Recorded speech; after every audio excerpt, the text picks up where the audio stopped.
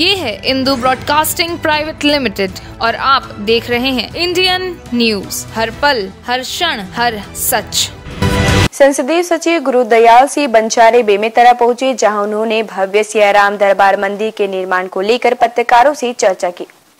नवागढ़ मुख्यालय में लगभग 25 करोड़ की लागत से भव्य सियाराम दरबार मंदिर का निर्माण किया जाएगा, जो अयोध्या की तर्ज पर होगा, जिसका भूमि पूजन 16 अप्रैल को किया जाएगा। जिसकी तैयारी को लेकर संसदीय सचिव गुरुदयाल सिंह बंचारे ने कहा कि नवागढ़ में बनने वाला सियाराम दरबार मंदिर ऐतिहासिक होगा।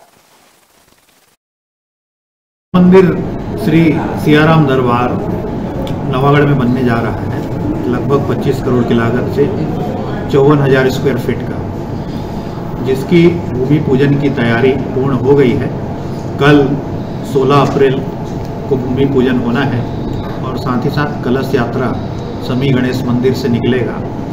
जैसे आप लोग भी अवगत होंगे कि अभी कुछ माह पूर्व सरपंचों के द्वारा, आमजनों के द्वारा अयोध्या जाकर वहाँ से पवित्र जल और मिट्टी लाया गया है, जिसे ससम्मान समी गणेश मंदिर में रखा गया है। और उसी मिट्टी और जल से श्री सियाराम दरबार का निर्माण होना है जिसके लिए समी गणेश मंदिर से कलश यात्रा कल नौ बजे निकलेगी और लगभग एक बजे के आसपास जहाँ राम मंदिर का निर्माण होना है वहाँ पर पहुँचेगी। कल के लिए कुछ अपील करेंगे तेरा?